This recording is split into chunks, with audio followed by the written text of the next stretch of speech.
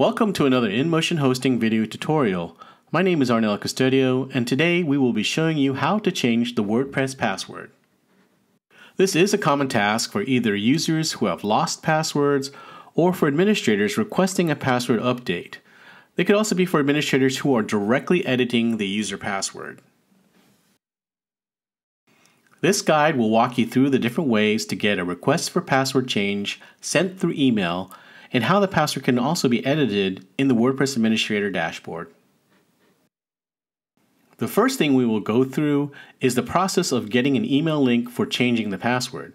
This link can be generated by a user through the login dialog or by an administrator in the user section of the dashboard. To start, go to the login screen for the WordPress administrator.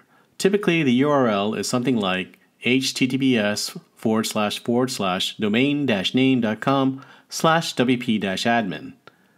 This particular URL can be altered in some cases, so you may need to speak with the owner or administrator of the website to get the proper administrator URL. If you have lost your password, you can click on the lost password link to receive an email link that will allow you to change your password. Note that you will need to know the email of the registered user to receive this link. If you are an administrator and you want to send an emailed link to a user, then you will need to log into the WordPress Administrator dashboard first. Next, go to the user section and hover over the username. You can click on Send Password Reset to proceed. Remember that the email is only sent to a user that has been created and exists within the WordPress database. The email will include a link and looks like this. To directly edit the user password, you'll need to go to the Users section in the menu, and then click on the user that you want to edit. Then you'll need to scroll down to the Password section.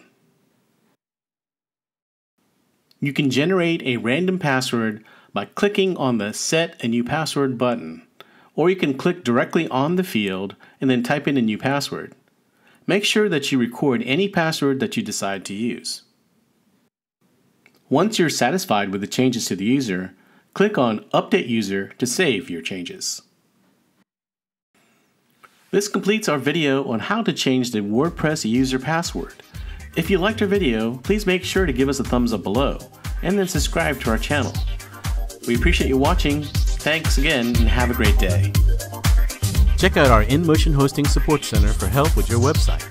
We provide thousands of step-by-step guides, videos, and much more to lead you towards making your online project a successful one.